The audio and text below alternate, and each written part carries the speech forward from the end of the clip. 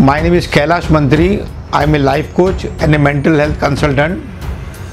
For the last 25 years, we have been researching on more than 50 mental illnesses and we have been successful in curing all without medicines. Today we'll be talking on anxiety disorder. Now let's understand what is anxiety and what is disorder. The dictionary meaning of anxiety is constant worry, nervousness, uneasiness which comes through uncertainty in life. Now let's understand what is a disorder. Disorder means a state of confusion. So normally in anxiety what is seen is restlessness. Now let's understand anxiety disorder through a story. One person was traveling from Mumbai to Pune in a bus and he did not had a watch. After some time he inquired with the co-passenger that what is the time. Co-passenger got the message but he pretended, he pretended as as if he has not heard. He put his hand on the watch so that you know nobody is able to see he is wearing a watch. After a while he again asked the same co-passenger, Sir, please tell the time no. The other person started saying, I know why you are asking time. By asking the time, you only want to talk to me. So negative person is very logical. If I start talking to you, we'll have some references. If we have some references, we'll meet again. If we meet again, you will come to my house. If you come to my house, you meet my daughter. And when you meet my daughter, you feel like dating to her. You will take her out and you'll come back and say, I like your daughter. I want to marry your daughter. The person who doesn't have a watch, I don't want to marry my daughter with that person. So why should I tell the time? Now, if you live your life in this pattern, you get anxiety. You yourself imagine if this thing happens, then that will happen. If that will happen, that will, that will happen, and you keep on thinking the whole story in a negative way, and you become nervous, you become uneasy, and that is called anxiety. That means only people who are fearful, who have nervousness, who have negative approach, who are confused will invite this disease. Now, one thing is sure all human beings have anxiety.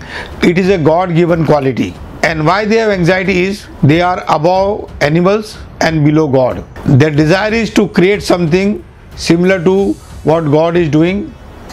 Now, this conflict of desire to do something uh, and the role of fear and anger to stop us from doing something creates a worry in us.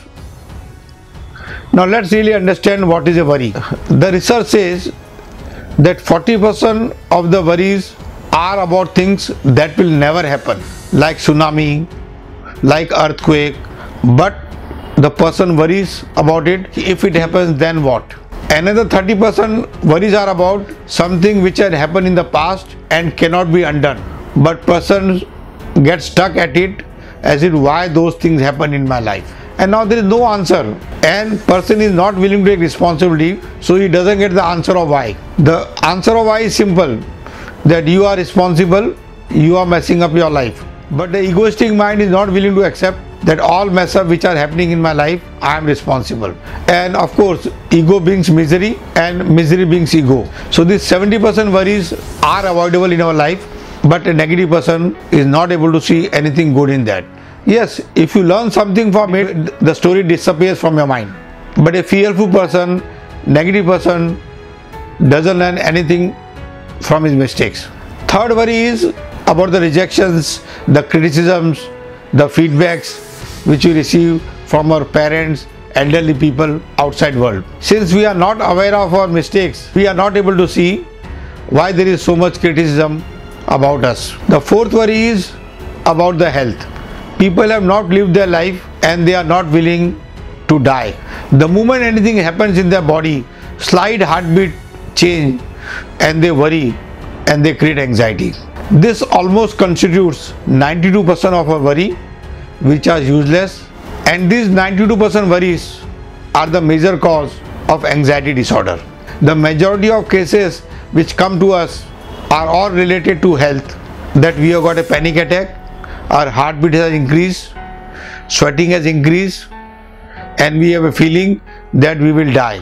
When I ask them how many times this happens and since when it is happening they say it is 2 to 3 years and 3 to 5 times in a year we have this feeling of we may die When I tell them still you are alive, there is nothing which has happened in your body. It is your mind which is creating all these stories, all these worries, and you over the panic attack. Majority of the anxieties we cure in 10 days. And in worst case scenario, we may take 30 days. And basically we have to deal with their fear, nervousness, worries, uneasiness, and we have to make them comfortable in uncertain moments. And uncertainty is unavoidable. Life is a flux. Anything can happen at any time and we should learn to live with it. Majority of the people who have got anxiety disorder focus on the problems of their life and the very few people in the world focus on the opportunities of life. Now problems and opportunities are the two sides of the same coin. Wherever there are problems, there are opportunities and wherever there are opportunities, there are problems. That means every problem has some opportunity in it and every opportunity has some problem into it. It's a question of which side you are looking. The way people get into anxieties are first focusing on wrong things and second by asking wrong questions.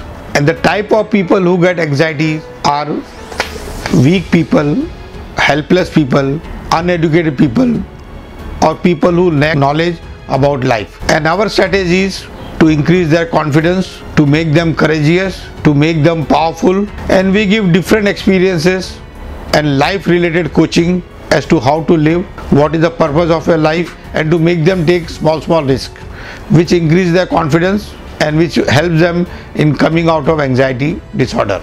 Confusion is natural because we have many minds.